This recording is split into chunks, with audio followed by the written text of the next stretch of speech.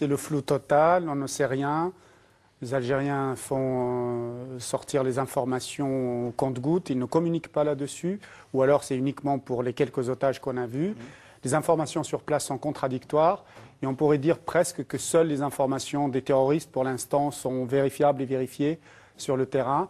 Donc on est dans un flou euh, qui rappelle étrangement les années 90, lorsqu'il y avait vraiment le terrorisme en Algérie. On ne savait pas qui faisait quoi, qui tapait sur qui. C'est vraiment très étrange comme situation. Je, vous pouvez quand même pas me dire que les bulletins de communication des terroristes sont plus fiables que ceux de. Pour l'instant, euh, ce qu'a communiqué, en tout cas le groupe de Belmokhtar, on a pu le vérifier à chaque fois. C'est-à-dire, on a pu vérifier combien lorsqu'il disait quelque chose. Alors que sur les différents communiqués qu'on a eus par ailleurs, euh, on a commencé par dire qu'il y a très peu d'otages, puis on a découvert qu'il y avait des centaines d'otages, puis ensuite ça s'est réduit. Maintenant, on nous dit qu'il reste probablement une trentaine d'otages. Enfin, il y a une façon de communiquer qui, est, euh, qui, qui ne donne pas confiance. Alors, si, si vous faites, le, le- je dirais, la synthèse euh, de ce que nous ont dit les terroristes pour l'instant, qu'est-ce qu'on pourrait savoir, euh, je dirais, de leur point de vue de la situation sur place? C'est une opération extrêmement bien organisée, très bien menée. Jusqu'à présent, ils contrôlent la situation et euh, ils ont réussi à neutraliser à peu près tout le système de sécurité mis en place à la fois par les Algériens et par les sociétés privées qui étaient employées sur les deux sites. Et ils ont un plan qui se déroule euh, selon leurs euh, informations, qui actuellement se déroule selon leurs attentes, à ce qu'on croit. Mais le problème, c'est qu'on ne sait pas où ils veulent en venir. Est-ce que vous voulez dire que pour l'instant, ce sont eux qui, enfin, l'expression est malvenue, mais qui mènent la danse, ou en tout cas, qui restent à l'initiative des opérations? Jusqu'à présent, malheureusement, euh, on a cette impression-là. Oui, on a l'impression que, en tout cas, les militaires algériens n'arrivent pas à trouver le moyen. euh, bon, hier, ils ont, ils ont tapé dans le tas, pour ainsi dire, on y reviendra, mais ils n'arrivent pas à trouver le moyen vraiment de contrôler, en particulier ce, dernier site euh, qui est isolé. C'est une usine de fabrication, enfin de production, et ils n'arrivent pas à trouver le moyen de sortir les terroristes. Les États-Unis sont une démocratie, les Anglais sont des démocraties. Les Anglais se foutent de leurs otages. C'est-à-dire, dès lors qu'un otage est pris, ils se débrouillent. La- la- les Anglais ne paieront jamais une rançon, n'ont jamais payé une rançon. Et tous les otages Un anglais- otage britannique est un otage mort. est un otage, un otage américain est un otage mort. Et ils ne vont pas négocier, ils ne paieront pas. Donc ce sont des démocraties. Donc voilà, première réponse. C'est pas les Algériens ne sont pas démocrates. La deuxième réponse. C'est pas ce que je voulais vous dire. Oui. La deuxième réponse, non, j'ai bien compris votre ironie. Et la deuxième réponse, c'est concernant leur réaction violente pour la libération des otages. Il n'y a pas eu de libération des otages. Je vais vous rappeler hein, le fait. Il, euh, puisqu'un des témoins l'a raconté, il y a des gens qui ont été embarqués sur des 4x4 pour partir. Et il y a des hélicoptères qui ont fait sauter tout le monde. Je voulais vous rappeler quelque chose qui s'est passé il n'y a pas longtemps. Deux jeunes Français qui sont enlevés à. Ils partent dans des 4x4. L'armée française fait décoller des hélicoptères avec des forces d'assaut et tout le monde est tué. Voilà. Le traitement, je vais dire. Donc, je ne veux pas défendre les Algériens, mais je dis que dans des circonstances exceptionnelles, les Algériens ont réagi. Ou les Japonais par exemple, ils viennent de convoquer l'ambassadeur algérien à Tokyo. Il y a encore beaucoup de confusion dans les informations, mais nous recevons des rapports faisant état de victimes. Nous regrettons profondément les opérations menées par les militaires algériens. Nous sommes évidemment inquiets au sujet des informations sur des pertes de vie humaines et nous cherchons des éclaircissements de la part du gouvernement algérien. Euh, plusieurs pays se plaignent, mais dans le fond, tout le monde n'est-il pas content que les Algériens aient agi rapidement et fermement? Oui, la communication la des pays qui se plaignent, elle est aussi à destination de leur opinion publique. On voit bien que là, chacun s'adresse à sa propre opinion. Et puis aussi, selon les traditions, on voit que le Japon est beaucoup plus offensif dans la récrimination parce qu'il n'a pas une habitude de la violence, dans le passé récent, qu'ont les États-Unis ou la Grande-Bretagne. Et la France, pour les raisons qui ont été indiquées dans le reportage, effectivement, est, elle, silencieuse parce qu'elle a partie liée avec... euh, l'Algérie dans la crise actuelle. Donc effectivement, il y a peut-être pas une satisfaction, mais en tous les cas, euh, personne ne voudra agir à la place des Algériens. Et je suppose que compte tenu de l'histoire euh, des relations entre les services français et les services algériens, la communication euh, se passe. Alors je pense que c'est plus au niveau de la DGSE que les échanges se font, puisque la DGSE euh, est installée en Algérie, la DCRI aussi a des, des- des installations en Algérie. Mais ce, ce qui est, euh, j'allais dire, important pour les Français, c'est au-delà, au-delà de cette opération, c'est de connaître exactement l'état et l'évaluation de la menace par les services algériens et de connaître si au-delà de cette opération qui a été lancée par cette Katiba, euh, que s'il y a d'autres opérations d'envergure qui ont été envisagées. Depuis maintenant quinzaine d'années, les Algériens ont cesser l'offensive antiterroriste. C'est-à-dire que les forces antiterroristes sont dans une position de défense. Ils essayent de faire un peu de, prévention pour éviter que les sites stratégiques, et encore, je vous disais tout à l'heure, toutes les opérations qui ont été réussies par ACMI et par le GSPC depuis une dizaine d'années, ils essayent de, euh, disons, protéger un certain nombre d'intérêts économiques et politiques et de symboles, et de symboles mais euh, ils ne mènent plus l'offensive contre les réseaux terroristes depuis l'arrivée de Bouteflika au pouvoir, il y a une politique qui a changé. C'est la politique consiste à ne plus traquer aujourd'hui et mener une offensive contre l'islam djihadiste, c'est-à-dire contre la partie idéologique, et contre la partie opérationnelle, c'est-à-dire on ne va pas chercher les terroristes. Il y a une sorte de modus vivendi qui s'est fait, qui s'est opéré notamment au Sahara. C'est pour ça que Mokhtar Belmokhtar, attendez, le, monsieur Marlborough, c'est une propagande algérienne. cet homme n'est pas, un, simple trafiquant, parce que c'est un euphémisme quand on dit ça. C'est pas un trafiquant de drogue, c'est un salafiste pur jus. C'est quelqu'un qui est dans le circuit depuis la fin des années 80. C'est un garçon qui est parti, qui a 40 ans, qui est parti en Afghanistan alors qu'il était âgé de 18 ans. On le laisse faire? On le laisse pas faire. Il n'y a pas que lui. on laisse faire, on laisse les terroristes qui ne euh, menace pas les intérêts stratégiques de l'État et la pérennité de l'État algérien, on les laisse faire ce qu'ils veulent. Réaction successive de Mathieu Guidère, puis euh, de Louis Caprioli. Personnellement, euh, je suis ce dossier depuis très longtemps. Je ne suis pas pour les théories du complot, ni pour les hypothèses non vérifiées, déjà. Ce qu'on sait aujourd'hui, c'est que ce personnage, Mokhtar Belmokhtar, a attaqué des intérêts stratégiques des militaires. Donc s'il y a un militaire dans cette affaire qui le couvre, il est dans de sales draps ce soir parce qu'il vient d'attaquer véritablement la source de revenus principale de l'Algérie.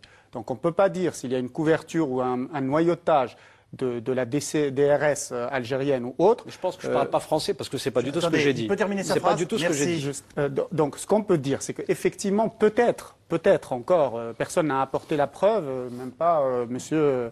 Sifawi, que pendant les années 90, peut-être il y a eu noyautage, instrumentalisation des groupes islamistes par les services de renseignement algériens Peut-être, probablement, je n'en sais rien, je n'ai aucune preuve personnellement vue de cela. À partir du moment où les groupes sont descendus vers le sud, effectivement, les Algériens ont lâché, ils ont dit c'est plus chez nous, c'est au Mali, c'est à la Mauritanie, c'est plus chez nous. À partir de là, et là je ne suis pas d'accord sur le fait de dire que les services algériens sont très présents en Mauritanie, au Mali, etc. Je ne le crois pas. Ils ont de contact avec les Touaregs, tout à fait d'accord. Mais les Touaregs, ce n'est pas le problème aujourd'hui. On est face à des groupes essentiellement algériens et de composition arabe de la région. Et donc, s'ils avaient un quelconque, véritablement, pouvoir pour éradiquer ces, mhm. groupes-là, en particulier le groupe d'Abu Zaid et de Belmokhtar, croyez-moi, ils l'auraient fait depuis longtemps, parce que les Américains en particulier leur ont offert pas mal de moyens pour le faire. Louis Caprioli je pense sur le désir du, bah, gouvernement algérien de lutter contre le terrorisme et contre bah, l'idéologie. Euh, de, lutter contre le terrorisme, si vous voulez, je pense qu'il l'a. Par contre, ce qu'on constate en Algérie, c'est vrai qu'il y a une islamisation de la société qui n'a rien à voir avec donc c'est un échec d'une certaine façon de la lutte. Euh, la réalité, c'est qu'aussi au Mali, il y a des groupes terroristes et que par principe, les Algériens ont décidé de ne pas y aller. Alors la question s'est posée, est-ce qu'ils ont décidé de ne pas y aller parce que ça les arrange sur le plan stratégique qu'il y ait une zone de trouble à leurs frontières pour focaliser l'attention euh, des, nations occidentales ou c'est tout simplement parce qu'ils ne veulent pas s'engager dans une démarche militaire? Euh, voilà. Alors, vous savez bien que jusqu'à présent, ils étaient hostiles à toute intervention militaire s'ils avaient la volonté de détruire euh, ces, gens qui étaient au Mali, je pense qu'ils auraient pu agir euh, de concert avec les Américains, de concert avec les Mauritaniens, s'il y avait une volonté d'aller porter le feu. Ils ne l'ont pas fait, alors c'est là où on s'interroge pourquoi? Euh, est-ce qu'ils le feront maintenant parce qu'un de leurs sites a été, attaqué? C'est la seule interrogation que l'on a, parce qu'effectivement, éradiquer le terrorisme au nord, où il y a encore quelques éléments, c'est d'abord éradiquer les gens au sud, puisque tout le financement, toute la propagande, tout ce qui sort euh, vient de cette zone-là, avec Abou Zaïd, Belmokhtar et, tous les gens. Donc là, la menace menace au sud, ben, elle fait peser une menace sur l'Algérie à nouveau. On l'a bien vu avec l'élément qui s'est passé cette semaine. C'est un peu plus compliqué, me semble-t-il, que cela, parce qu'on est face à un dilemme. Si la France intervient toute seule, le contre-argument, c'est que c'est une intervention colonialiste ou néocolonialiste. C'est l'argument qui va être sorti, et déjà, euh, on l'entend et on le voit dans la presse, dans les médias de tous ces pays. Il ne faut pas regarder la presse française. Si, ce sont des Africains qui interviennent, on tombe sur l'argument ethnique, parce que les Africains qui interviennent ne sont pas ni des mêmes ethnies, on est face à des Noirs, face à des Touaregs et des Arabes, et donc on n'est pas du tout sur la même, et on risque de, graves séquelles euh, sur le plan ethnique dans toute cette région. Si les Européens qui, interviennent, euh, eh bien on tombe sur l'argument confessionnel, à savoir on a une coalition occidentale, pour ne pas dire chrétienne, reformulée, croisée de l'autre côté, dans un pays musulman. Donc c'est un véritable dilemme aujourd'hui. Pour l'instant, c'est le moins pire. Ce que vous voulez nous dire, c'est que toutes les charges symboliques euh, euh, sans focaliser sur une ou l'autre des options. Aujourd'hui, on est sur la moins pire, à savoir une ancienne puissance coloniale appelée par un ancien colonisé pour l'aider à chasser une bonne partie de son peuple qui devient un peu terroriste ou islamiste. Les téléspectateurs, la crainte que vous exprimez, c'est que des soldats maliens ou africains commettent euh, des vengeances sur la population des villes dans lesquelles il faut intervenir. Il faut donc que les combats euh, soient limités aux djihadistes et qu'il n'y ait pas d'exaction comme on a vu trop souvent dans le continent africain de la part d'une partie des militaires sur la population civile. C'est ça le danger, mais c'est un danger que l'on peut encadrer politiquement, parce que dans la mesure où nous sommes venus au secours de l'armée malienne, il est quand même possible d'avoir un véritable dialogue sur les risques encourus par ce type de comportement. Revenir sur cet aspect de l'engagement de l'Europe, l'engagement de l'Europe pour euh, refaire une armée malienne, je dis, je dis, je vous dis tout de suite, pour moi, ça va être un échec. Parce que l'armée malienne est divisée, parce qu'on le sait bien, entre les bérets rouges, les bérets verts, le capitaine Sanogo fait, et que euh, l'armée malienne n'existera pas. Elle n'existe pas pourquoi? Parce que les, forces spéciales américaines euh, de, qui étaient basées, qui sont basées à Stuttgart, hein, à l'Africom, ont dépensé des centaines de millions de dollars pour former l'armée malienne. Le résultat, c'est que l'armée malienne s'est effondrée l'année dernière devant une offensive du MNLA suivie des autres. Donc je suis très réservé sur la compétence de l'armée malienne à court et à moyen terme. Donc là, euh, je ne vois pas euh, les militaires français appuyés par une armée malienne qui va prendre le relais et qui va s'engager dans des opérations.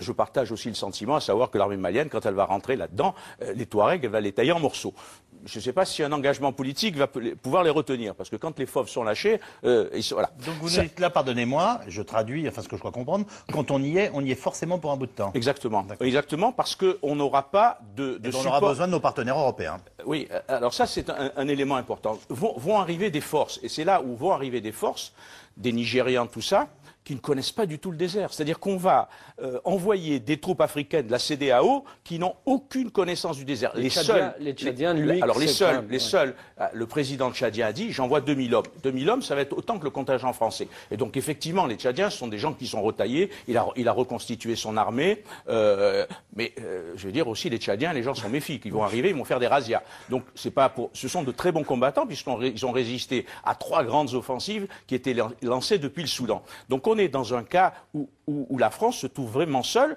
Non seulement les armées africaines ne sont pas à la hauteur, elles n'ont pas la logistique, et puis il y a de l'argent. On a besoin d'un financement. À Addis Abeba prochainement, on va discuter du financement. Vous savez, je, suis allé sur une télévision arabe récemment et on, a on parlait du voyage du président de la République aux Émirats arabes unis. Et par ironie, on m'a demandé pourquoi il y allait. Euh, J'ai dit, bah écoutez, parce qu'il y a une base française, mais il m'a dit c'est peut-être pour demander de l'argent. C'est quand même humiliant de, de penser qu'il y a des gens qui pensent qu'on est tellement ruiné qu'on est obligé, pour faire la guerre, d'aller mendier de l'argent. Mais voilà, si vous voulez, la, situation dans laquelle on se trouve. Et c'est, pas, on n'est pas loin de la vérité.